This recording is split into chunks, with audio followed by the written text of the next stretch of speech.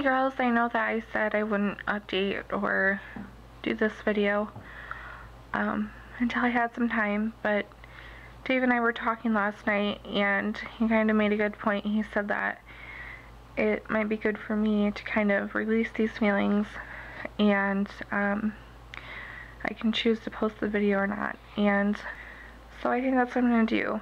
Um, this subject is very emotional. We're currently going through this. Obviously it's not a happy time and this video is probably going to be very emotional and if that's something that makes you uncomfortable then this video might not be something that you want to watch. If I do post this video it's because this is a part of our journey and as sad as it might be I hope that in some way this video can help another uh, couple that's going through this or maybe it might give someone answers to questions. My husband and I, like I said, have been trying since 2013, November 2013, uh, preparing to try and we didn't start actively trying until the fall of 2014. Since the beginning of our TTC journey I was taking fertility treatments. Um, I was taking Clomid as well as metformin to help me ovulate.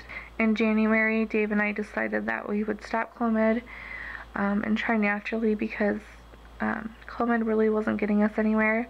I was responding to it, but I wasn't responding to it as well. I also had a lot of side effects that I was not happy with, and I just felt that Clomid was setting us back. That, that's not the case for everybody. Um, again, Clomid affects everyone different. Um, for me, it wasn't um, very nice, and so we took a break, and to our surprise, we were able to conceive um, in January.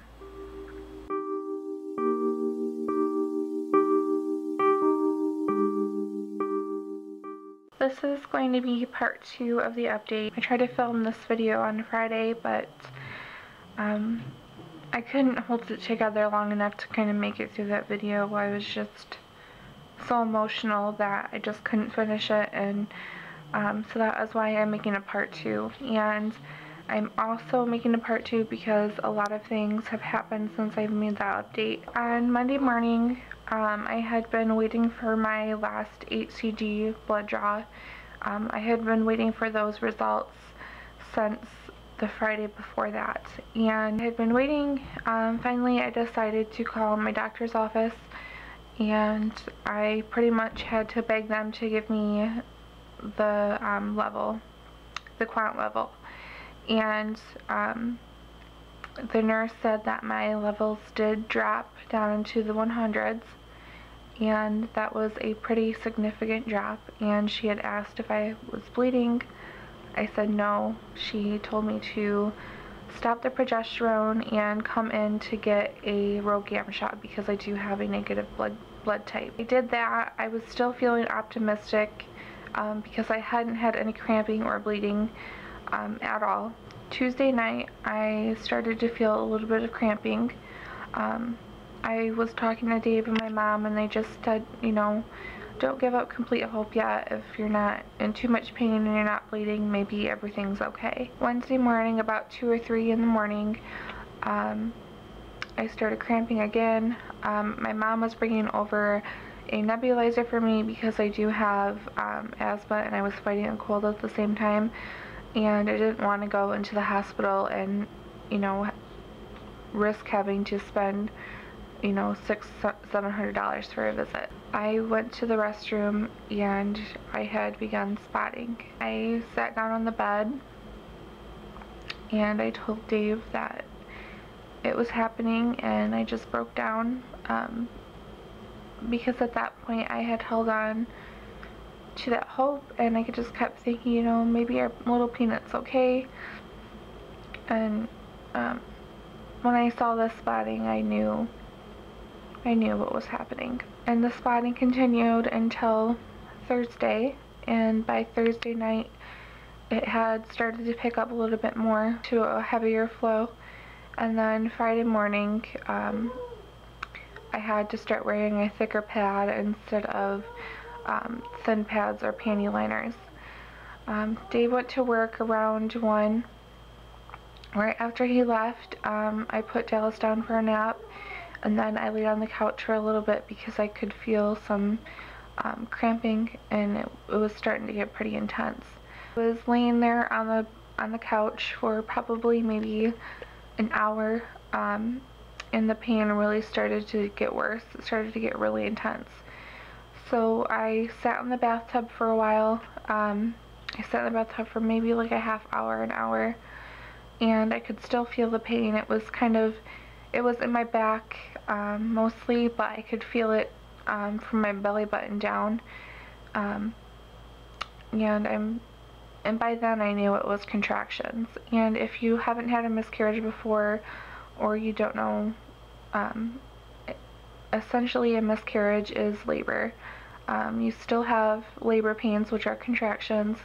Um, I had a lot of cervix pain as well. My cervix felt really, I guess, really sore and swollen and sensitive. They weren't too far apart. It, I was just kind of in constant pain. Um, I got out of the bathtub, got Dallas up from his nap, and I tried to make dinner for him. By the time I finished dinner, the pain was getting more intense. Um, it was making me really nauseous to the point that I was throwing up. Um, Dave came home and I was just in agony. I was just laying on our bed curled up in a ball and I was just bawling my eyes out because the pain was so bad. Um, my doctor's office never told me what to expect with this.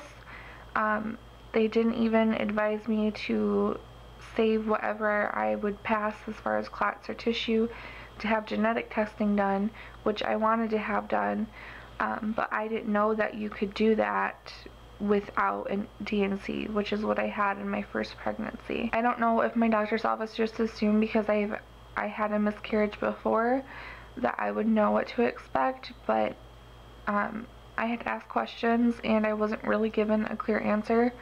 Um, I asked to speak to my doctor and they said that he doesn't speak to patients over the phone, which made me really upset because I couldn't get in to see him. The time that I was able to even get in there was to have a RhoGAM shot. With my first pregnancy, um, I had to have a D&C done. I miscarried at 14 weeks and I had to have a D&C done. I was advised then that I could take um, a pill to help start things going then and I could have something to help dilate my cervix but they said that I would most likely have to do that in the hospital because it would be very painful and there were other side effects and then I was just so emotionally distraught that I just wanted to get everything over with so that is why I had the D&C done and I honestly wish I had that option this time around because not only was the physical pain bad, it's my how I was feeling emotionally.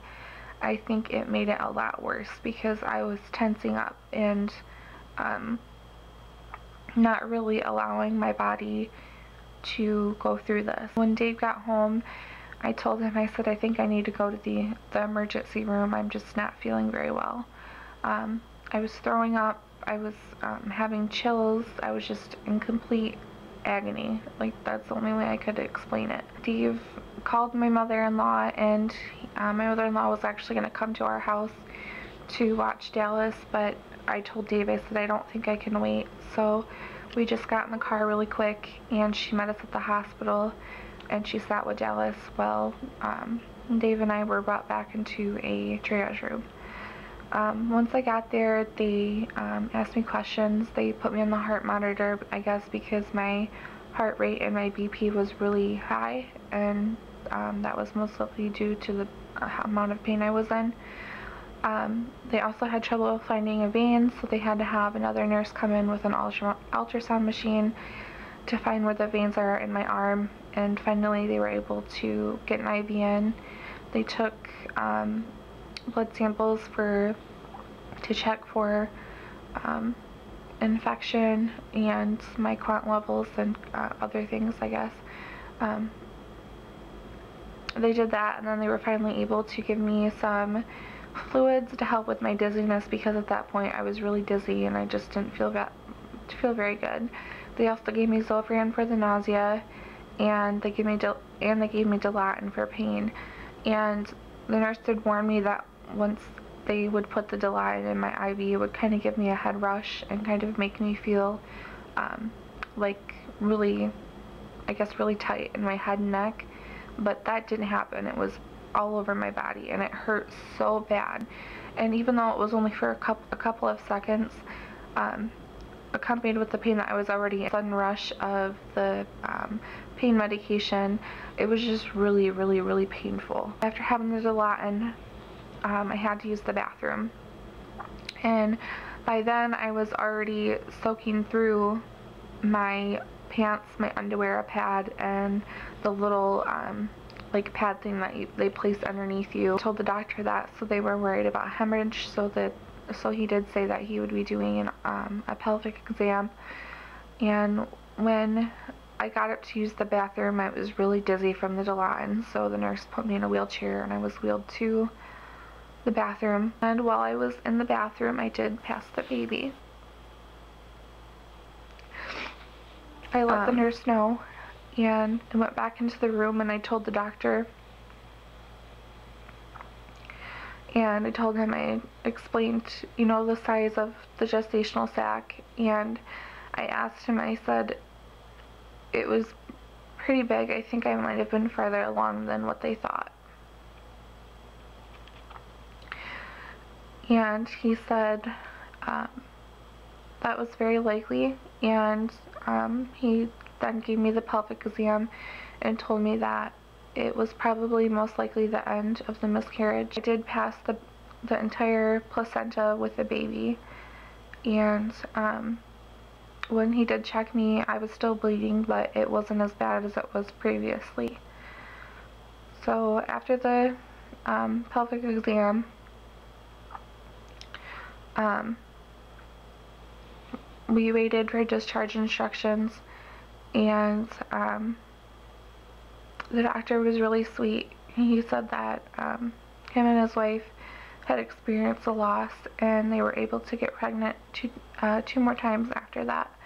And he said, I can't even imagine what it would feel like to go through that again. And he was just so nice to Dave and I and he was very caring and compassionate and as well as all the nurses there too. I definitely um, want to send them like a thank you card or even, you know, write to their um, HR department to give them, you know, praise because they were really, really compassionate and really helpful to Dave. And I'm no longer in severe pain. I'm not having um, those contractions anymore. Um, now I'm just having, I guess, um, mild cramping.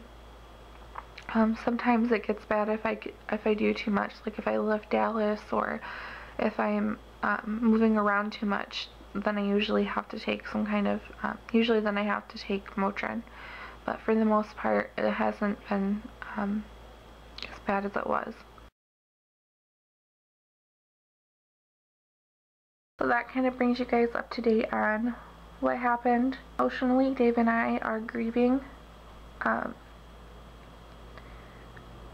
I know that we weren't as far as long in this pregnancy, but this baby was so wanted and so loved and I don't think either of us ever imagined that this would happen. And I think the hardest part is not having answers as to why this happened. I just feel so empty and just heartbroken.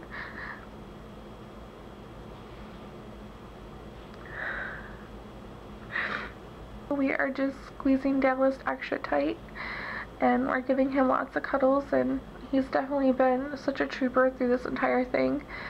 Um, I was really, really scared that he saw me in that amount of pain. I definitely didn't want him to see me like that.